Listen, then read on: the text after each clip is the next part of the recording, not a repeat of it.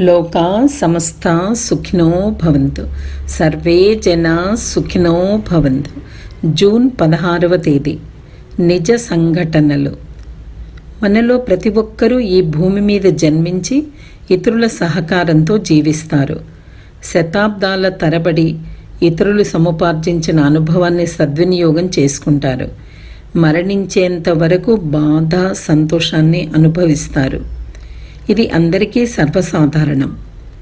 ఈ విషయాన్ని గుర్తుంచుకుని మన శారీరక మానసిక శక్తులను సద్వినియోగం చేసుకుంటూ సంపూర్ణమైన ఫలవంతమైన జీవితాన్ని జీవించడానికి ప్రయత్నించుదాం.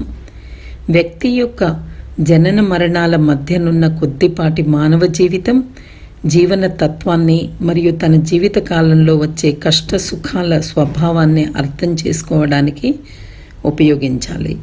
చక్కటి ప్రణాళికాబద్ధమైన శాంతియుతమైన జీవితానికి ఇది చాలా ముఖ్యం.